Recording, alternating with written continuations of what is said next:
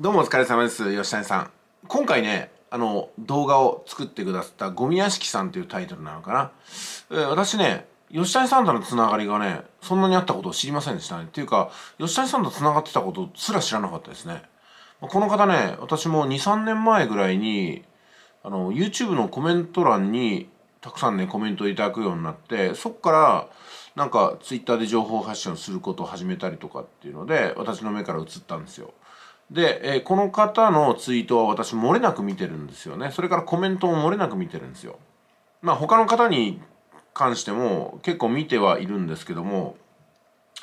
あのまあこの方がねあのいつ行動するのか分かりませんでしたけども少なくとも私は吉谷さんがこう反応することをしていなかったら多分やっていなかったんじゃないかなと思います。でも人はいつかあの見る側から見せる側になるかなっていうので今回そうなったんじゃないかなっていうふうに思いますね。でその結果その吉谷さんにかなりね思いがあることがまあ分かりまして私の方もねあの、まあ、一応支持してくれてはいると思いますけども、うん、まあでもこういったねさまざまな人の応援の賜物でこの方も一つの決断を出したのかなと思いますね。で、ツイッターをする時もね、私もね、ちょっとお勧めしたことがあったんですけども、今回 YouTube に関しても、あの、実はね、あの、情報発信 YouTube を、も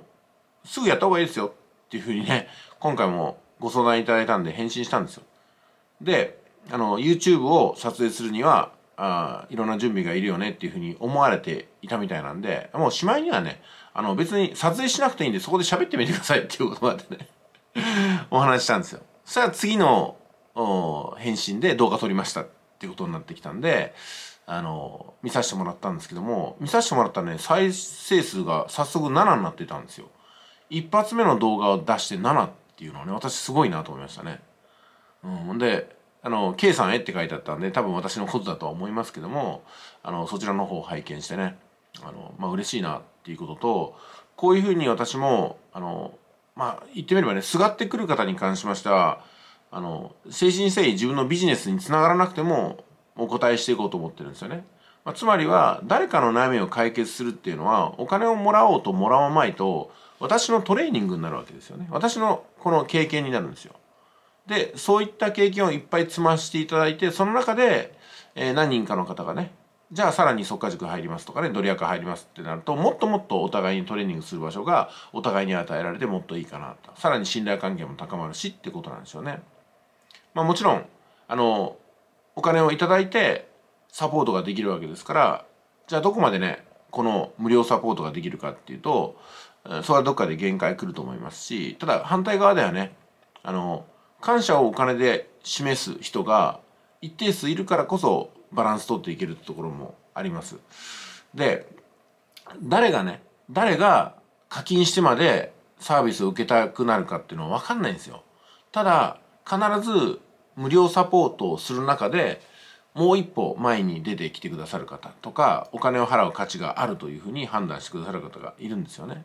でお金がないからお金が払えないっていらっしゃる方も本当正直なとこだと思うんですよ。まさに、ね、生活保護を受けてる方があのそれじゃあね30万50万入れるかって言うと払えないんででも生活保護を受けながらでもお金の問題解決をしてあこれだったら順調にキャッシュが回っていくのはいけるなと思えばそれはねあの恩義に感じていればですよ、うん、やっぱこうお金を払うって行動にも出ると思いますしまあ私の場合はね生活保護の方が500円とか1000円っていうお金を払ってくれる例もあるんですよね。うん、だからそれはもうね本当に払いたいんだけどもどう考えても自分のギリギリ限界で今日の昼飯を一食抜いて500円を出すのがやっとなんですっていう風になったと思うんでそれはその人に対してね大きな行動だと思うんですよ。今までまさにねあの半額の弁当を買ってた人がじゃあ500円の弁当が250円に半額になったからその節約した250円を2回貯めて500円にしたっていうところかもしれませんしあのおかがお腹が空いてるのを一旦我慢してねでこらえて500円を使わずにいたのかもしれませんしそこにはその人の覚悟とドラマを感じますよね。まあ、それをやっぱこう私も最大限受け取ってねじゃあ速稼塾入りましょうってことにならないかもしれませんけども補助教材を提供したりとかその人のためのじゃあ500円とか1000円の特別講義を作ってねお送りしてプラスついでにそれを一般でも売るみたいなことをしてねあの全体的に回収していくっていう方法もありますしで回収ができればさらに新しいコンテンツができてさらに多くの方に、えー、意義あるものがお伝えできるかなっていうとこですよね。まあ、だからあのここでね、あの、無料の動画ばかり見てる人に言いたいんですけども、決してね、無料の動画を見てるからといって、発信者が無益だとはならないんですよ。有益なんですよ。やっぱり。うん、だから何かができるわけですよね。えー、なんかね、あえて質問するとかね、納得できないことがあるんで納得したいんで、一歩前に進んできました。でもいいと思うんですよ。うんそもそも、あの、納得っていうのはなかなかできないと思いますよ。だって、月収100万稼いでない人が月収100万稼いでる人の思考はなかなか納得できないから月収が100万稼げてないとこにいるわけですからね。でも納得できないけどやってみようかなっていう風になった時に実際やってみたらあ本当だってことはね結構あるんですよね。積み重なっていくと思います、はい、おそらく今回の方動画を上げたことによってこれから動画を上げることに多分抵抗はなくなってくるでしょうね。